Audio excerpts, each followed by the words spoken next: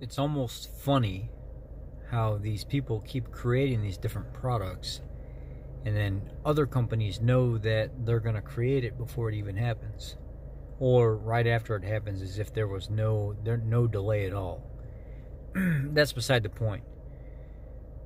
Kraft has come out with a Kranch a ketchup and ranch dressing put together. Soy oil sugar high fructose corn, corn syrup a definite mixture to feed your in-laws if you want to dec- decrease their life. You know, if you're the, those they're those kind of in-laws that you just want to kind of make them uh, disappear a little bit sooner, the ones that make your life a living hell. I wouldn't feed this stuff to my worst enemy. And then Women's Health magazine has the nerve to call it a keto product that fits. They're calling it a keto product. They had the nerve to write a full blown article on how it fits a ketogenic diet, but yet they were the same ones that were talking bad about keto.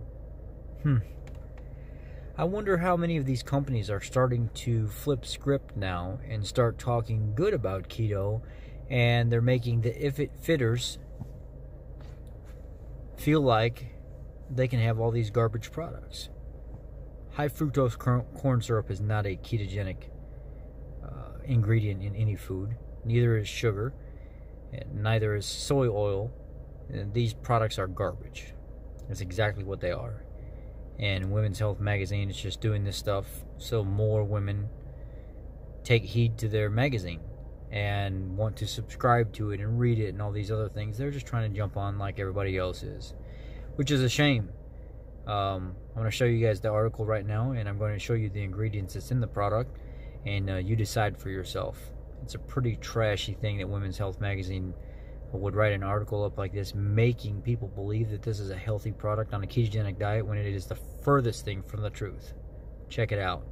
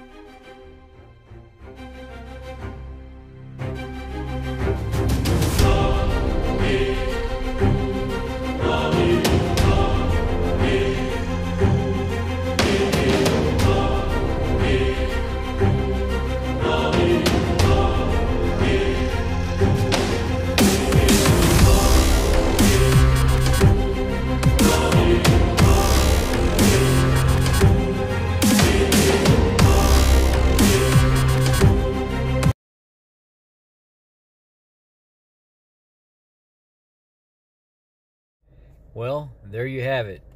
You've seen what Women's Health said. That's definitely part of a ketogenic diet. All that sugar and stuff, all those things that are in there, that's definitely part of keto because Women's Health said it.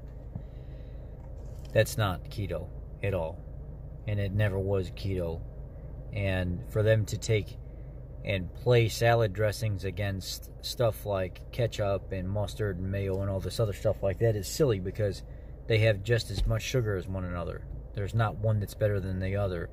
And on top of that, if you've seen some of those postings where they actually break down the amount of sugar that's in a bottle of ketchup, it's like three quarters of the bottle by volume when it's all broke down on how much granulated sugar will actually fill a ketchup bottle based on its content.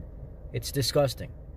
But it's keto, they said. So, so you know, everybody go out and buy your bottle of, of ketchup Kranch your Mayomust and your Mayocue or whatever it is. Just go get it and just suck it down because it's keto. You don't even have to worry about counting anything, right? No, wrong. It's stupid. It's another marketing ploy for them. I wonder how much they're getting paid by Kraft to write an article like that. It is not keto friendly. And everybody's labeling everything as keto friendly now, and it's the stupidest thing ever. That's my video.